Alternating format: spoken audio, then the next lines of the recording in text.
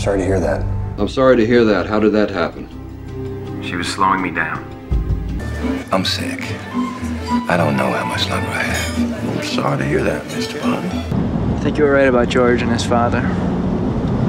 Uh, I'm sorry to hear that. I haven't been getting too much sleep. My father's in a lot of pain. Oh, I'm sorry to hear that.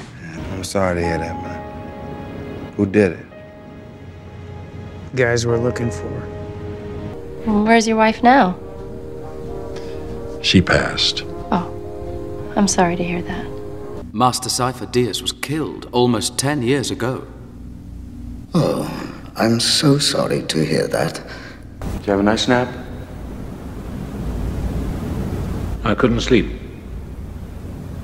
I'm sorry to hear that. My husband's brother and his girlfriend, they died in a car accident when Alex was about six. Sorry to hear that.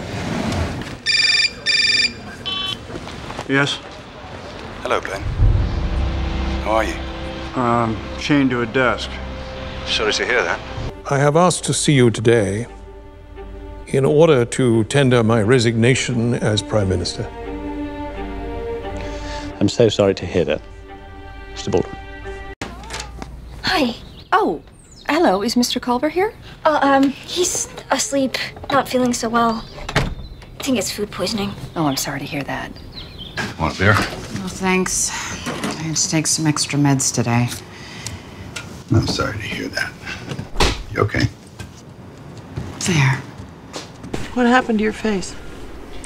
I smashed into a hill on purpose on my motorcycle. I'm sorry to hear that. My father's in jail, sir. Oh. Well, I'm sorry to hear that, sir. But that doesn't have to be your life. My wife is having intercourse with someone who is not me. I'm, I'm sorry to hear that. Oh, thank you. That is very nice of you to say.